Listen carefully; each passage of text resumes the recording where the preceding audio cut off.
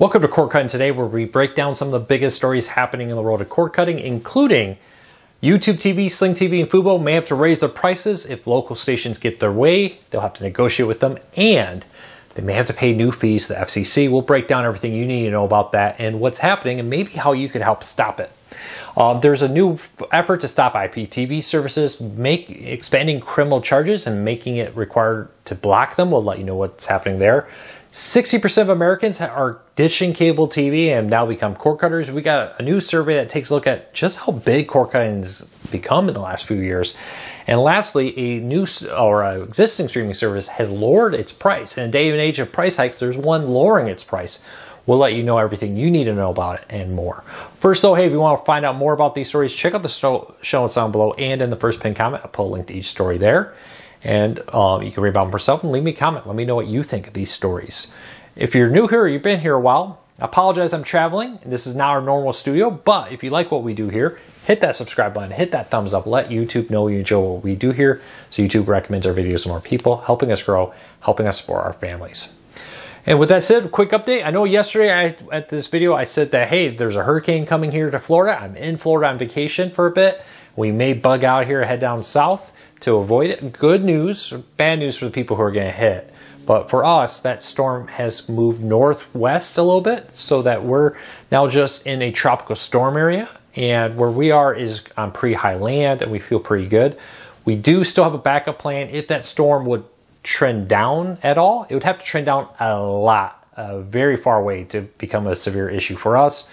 Um, for now, we're going to stay here. But if I do happen to lose power, it may mean no video tomorrow. Just keep that in mind. But I, as of now, anticipate being here like everything normal tomorrow. So with that said, let's dive into it. For some time now, local ABC station owners, so not ABC, NBC, Fox, but like places like Nexstar, are pushing to get the FCC to reclassify live TV streaming services like YouTube TV, Sling TV, and more as cable companies. Currently, cable companies have one set of rules they have to oh, abide by with the FCC, and streaming services like Fubo and YouTube TV and more have a separate set. Locals don't like that because it allows YouTube TV and Fubo and more to strike deals with Paramount, Disney, and more and get rights to all the local ABC, all the local CBS, and more in one deal with the big parent company. Cable companies have to go local by local to strike a deal with each local company there. So, uh, for example, right now, DirecStar is in the middle of a blackout because DirecStar has to negotiate directly with, um, or DirecTV has to dr- negotiate directly with Nexstar to get all the Nexstar owned locals. If the, the locals get their way, they're going to force the FCC to make um, YouTube TV do that with them and have to go by each individual one. Maybe saying, Luke, what about um, DirecTV Stream, how come they lost it then? Well, DirecTV uses their DirecTV contract to also do DirecTV Stream. So with no DirecTV contract, no DirecTV Stream locals. But there's an additional catch here. The FCC charges about a dollar twenty some per subscriber to get um, access to, or as a regulatory fee per year. If this goes through, live TV streaming services are going to have to pay over $16 million to the FCC every year. This is going to drive up the costs, on top of the possibility of locals forcing YouTube TV and more to pay money and drive up the cost of it because they're going to have to pay more money for locals than they do now under the current contracts. Now, if you want to help keep the cost of streaming down, you may want to think about writing to the FCC and telling them no. YouTube TV and these other companies should not be treated like cable. They're a different situation. There are a bunch of landlines running through local townships and more that the FCC has to regulate um, with this. So think about that if you do want to have a proactive stance here. But if locals get this way, it could mean paying more for local channels. It could mean paying more to the FCC for live TV services. That will probably mean it'll get passed on to you with that. All right, let's keep moving along in Europe, there's a new law that's going to target IPTV services in an attempt to block them. It's going to force internet service providers to target illegal IPTV streaming services to shut them down. Now, this is part of an ongoing war we're seeing against it. As cord cutting has grown, an increasing number of companies have pushed for the ability to um, block IPTV services to force people to go from pirate services to legal services to help offset their um, costs. In a growing number of countries, there's an effort to make IPTV not just a civil case, but a criminal case. In the United States, they passed that law, and we've already seen several IPTV owners face criminal charges and get very long jail sentences for this. Now in the UK, we're seeing that. Now in Italy, they're passing a law to force companies to stop um, this online piracy. Increasingly, piracy is becoming a major issue that companies are paying attention to as they desire to crack down on um, illegal streams to help drive people to legal services. Look for this to become more and more popular. In the United States, they may have made it criminal, but there's a push to also force internet service providers to detect these illegal streams and stop it before it could ever get to you. You may request it, your internet service provider will go, nope, it's an illegal stream, we have to shut it off. We'll see if that comes in the United States. All right, there's a new report from ComScore, one of the most respected groups that tracks um, the TV industry, that says over 60% of Americans with a connected home, so people on the internet, American households with internet connection, 60% of them now pay um, for streaming and don't pay for cable TV. This is a huge change here from just 2019 when it was 37% in May of 2019. Cord cutting has exploded. What's very interesting here, it wasn't that long ago that people said that cord cutting was just a fringe activity, right? few like kids in their mom's basement who don't want to pay for stuff, all those kind of comments you probably heard before. Just a bunch of college students, and they'll pay for cable when they get older. Well, now cord cutting is the mass, vast majority. 60% of American households now reportedly just pay for streaming services and don't use a traditional cable TV like provider. Question for you Are you part of that? Were you one of the people who cut the cord since 2019, May 2019 to now?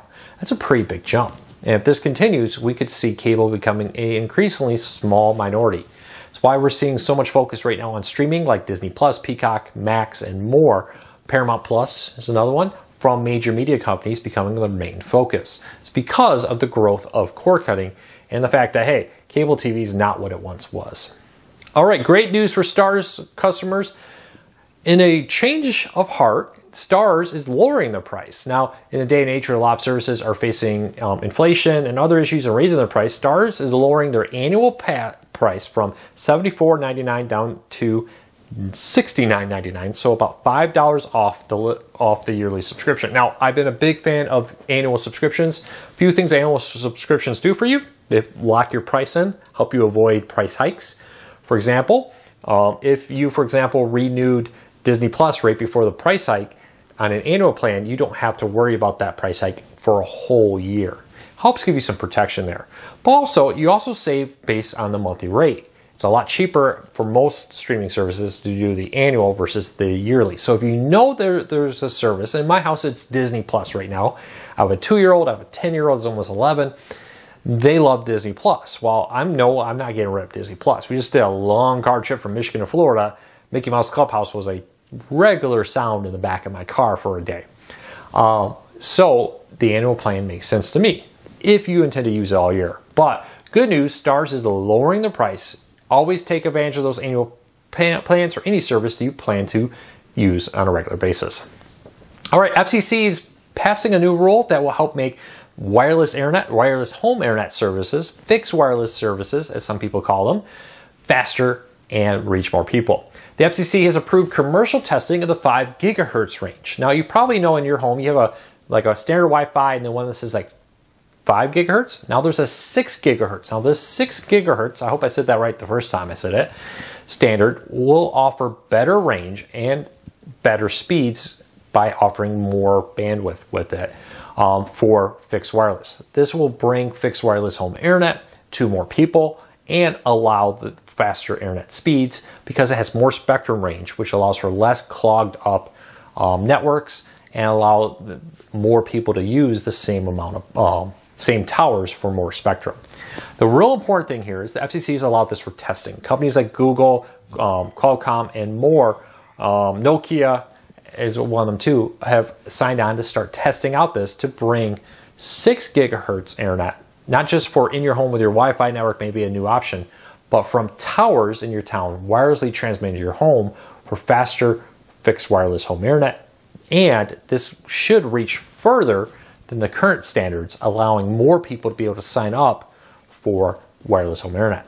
one more effort in the cord cutting 2.0, as I call it, the ability to break free from cable TV and cable internet and go completely free from cable companies. Currently in testing, no timeline on when this will go public, but it's a step in the right direction, and I'm very excited to see it happen.